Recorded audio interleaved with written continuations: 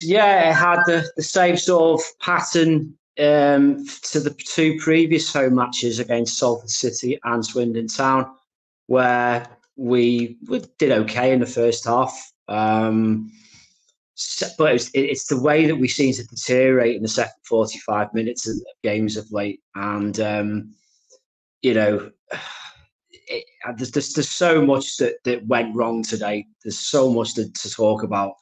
Um, but, you know, we were discussing earlier in the game, weren't we? Um, how many times did we appear to change formation in the game? We were trying to work out was it three four three we were playing, 5 4 1, 4 4 2, 3 5 2. It was bizarre. Um, and these are decisions that, that the manager's making in game. So if you're having to ch- chop and change formation at such a rate, then something has not gone right with your pre-match prep. Um, the, the, substitutions that were made at half time, and I think I'm right in saying there was three of them, had no effect, no positive impact on the game whatsoever. Um, and yeah, the second half was was dire. It was it was dreadful. And as soon as Bradford took the lead, you always feared the worst for Tranmere because of our lack of goals so far this season. But not just with that, our lack of creativity as well. You know, we knock the ball around quite tidily at times without its possession without substance. We get into that final opposition third and we just run out of ideas. And I think teams have, have really sussed us out, know how to get a result against us. They give us the ball, they surrender the possession. And when you've got a finisher like Andy Cook that Bradford have, we know all too well how what he can do from his from his spell several years ago at Tranmere. You give him an inch, he's going to finish. And they had something we didn't have today, and that's someone who can put the ball in the back of the net. You know, Cookie doesn't work particularly hard, doesn't need to. He's very intelligent in terms of just no drop back. He dropped back onto the um, edge of the penalty area in the first half, struck the ball low into the bottom corner past Luke McGee. Great finish. You know, it's what we we haven't got. But all game long, it was just wretched. Long balls up to Christian Dennis in the first half. He's got not he hasn't got a cat in hell's chance of getting onto the end of some of them. And Morris playing out wide.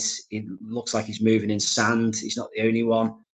Um, Omari Patrick did well in the first half. At least tries to get on the ball. Least tries to cut in from the wide areas.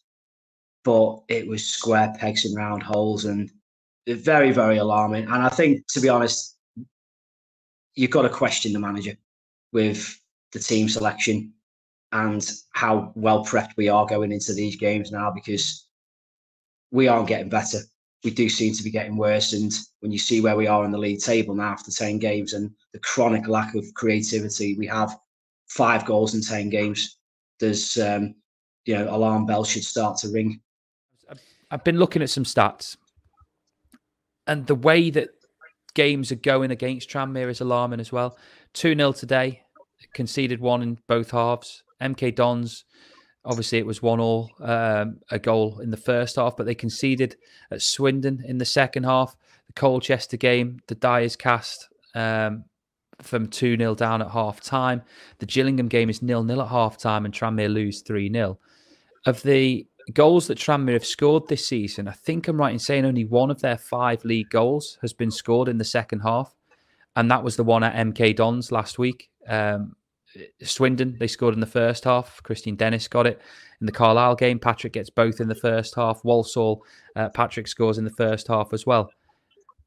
If they go behind, they ain't getting back into it. You just do straight away today, you know. And I, I was, I read a stat midweek about how good Bradford are when they do go ahead.